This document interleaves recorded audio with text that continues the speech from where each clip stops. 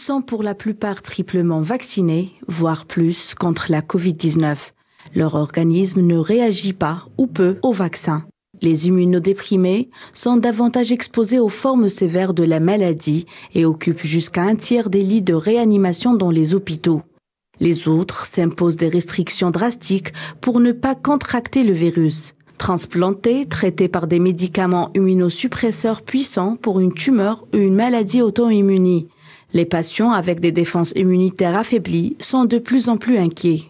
Chez un malade ordinaire, le virus reste actif quelques jours à peine avant de disparaître. C'est d'ailleurs pour cette raison qu'il est recommandé aux personnes testées positives de s'isoler pendant 10 jours après l'apparition des symptômes. Mais chez les personnes immunodéprimées, cette infection peut durer plusieurs mois.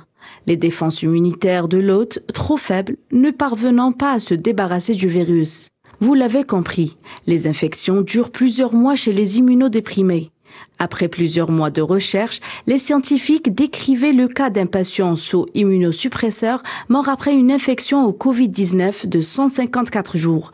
La plus longue infection rapportée à ce jour a duré 355 jours. Les scientifiques recommandent le vaccin ARN messager pour une meilleure réponse immunitaire. Selon les premières données, sur un peu plus de 400 patients majoritairement des transplantés rénaux, une réponse à une dose de vaccin a été observée chez 17% seulement de ces patients et 50% après la deuxième dose.